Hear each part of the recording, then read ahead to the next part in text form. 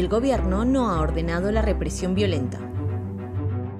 Nos duele profundamente que en el marco de las recientes manifestaciones, el gobierno del Perú lamenta profundamente la trágica pérdida de vidas humanas ocurridas en el marco de las manifestaciones y actos de violencia. El Ministerio Público ya ha iniciado los procesos de investigación previstos en la ley para establecer las responsabilidades penales individuales que correspondan.